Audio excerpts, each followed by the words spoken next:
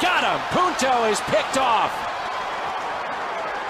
Boy, he's got to know better having played last year with Yadier Molina. You know that's coming. Lead this time, the 0-2.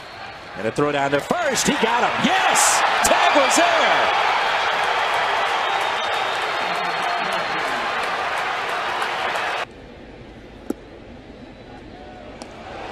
Got him at third base. Walker already pointing to the dugout. He wants this reviewed.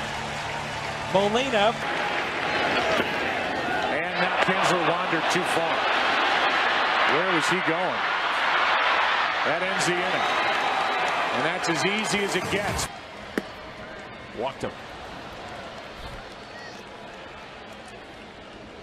So two out rally here. Did he get him? He did! Got the soft hands, but very accurate. Pick off. They got him. Molina does it again. The pickoff of Alex Gordon. It's his second this season. Corners are in.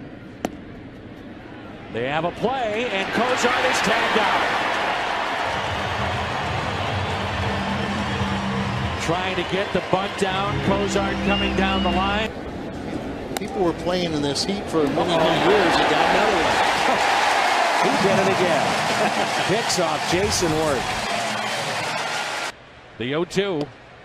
And a pickoff at third, and got him. What a throw by Yadier Molina. Herrera gunned down at third. An absolute cannon. aren't easy, especially if you're a young pitcher. And out at first is Sanchez as Molina does what Molina does, and Adam Wainwright loves it. Showing bunt again, stabs at it, throw to second, and out. Molina guns him down. There's a, a break that goes Wainwright's way. There goes Kinsler. Now he comes back and he's trapped. Just like that, the Rangers lose Ian Kinsler on the bases. One out.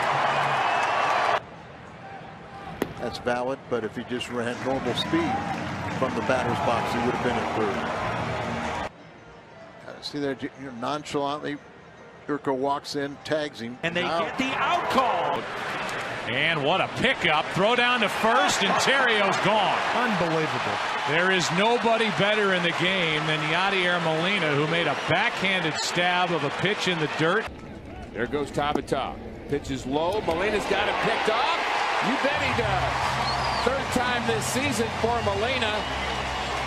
The pitch was low, and Yadi